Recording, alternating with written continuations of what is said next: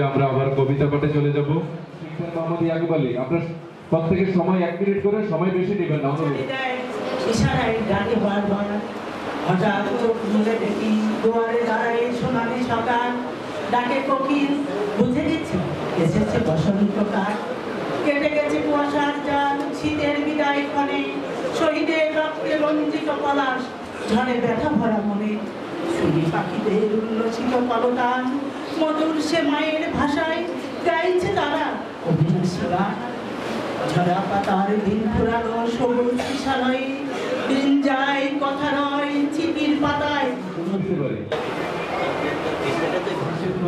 বলে কেন রে চিত্রটি নিপূর্ণ হলি চলে থেকে জন্ম নিলি ওরে বাই নদী, সেই থেকে তোর স্রোতে চলি নিরবধি এইভাবে চলবো আমি আর কত কাল আমি বই প্রতিকূল তুমি বড় দাও ওই টুটি চেপে ধরি করি না কব বৃক্ষের আমি জালিমের জুলুম নস্বাত করি মসিবান করি নিক্ষেপ। আমি গিয়েছিলাম এবং সেখানে মহেশ কালের পাড়ের খিলি বাঙাইয়ে খাওয়াইও। ওখানে আমি পাড়ের খিলিও খেয়েছি আমি ওখানে আর চলতে চায় না।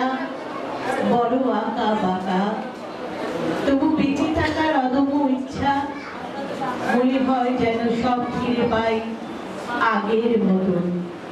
রাত গভীর থেকে গভীরতর হয়। প্রভুর গুণে রাত জাগা পেঁচার মতন। কখন আসবে সেই প্রতিক্ষণ?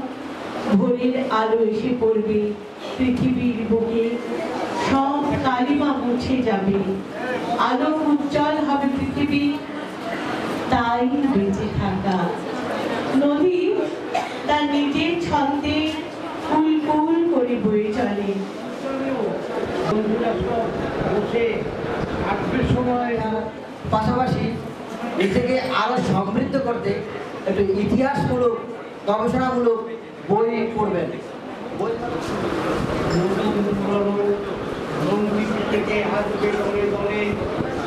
খাতায় নিজের হাতে। প্রতিবাদে মুখ বুজে দেয় অন্ধকারে, শাসিয়ে বলে মৃত্যুদণ্ড দেবে তারে। লড়াই শুরু করেছিল প্রতিবাদে সেদিন থেকেই অমানিসার অন্ধকারে। চিৎকার করে বলছে শুনি পড়াশোনা বন্ধ করো ছুড়ে ফেলো বর্ণমেলা। মেয়ে হয়ে জন্ম যখন রান্নাঘরে রান্না করো বাসন মাজো মনের ঘরে লাগাও তালা। ধন্যবাদ। বিশ্ব জুড়ে চলছে গুজব। পড়তে চাইছে ওই মেয়েটা। ধর্না ওকে পিটিয়ে মার চালাক গুলি? চলল গুলি। সেই গুলিরই আঘাত খেয়ে ওই মেয়েটার বন্ধ হলো মুখের গুলি। প্রথম জন্ম শ্বাস চিতার আগুন এই বাংলায় পাগল নিম্নে উতলা ধরণী তল অরুণ প্রাতের তরুণ দল। চল রে চল রে চল। যদিও আমি এই বাংলাদেশকে দেখেছি পূর্ববঙ্গ হিসাবে এই বাংলাদেশকে দেখেছি আমি পূর্ব পাকিস্তান হিসাবে এখন দেখছি বাংলাদেশ পৃথিবীর একমাত্র বাংলা রাষ্ট্র।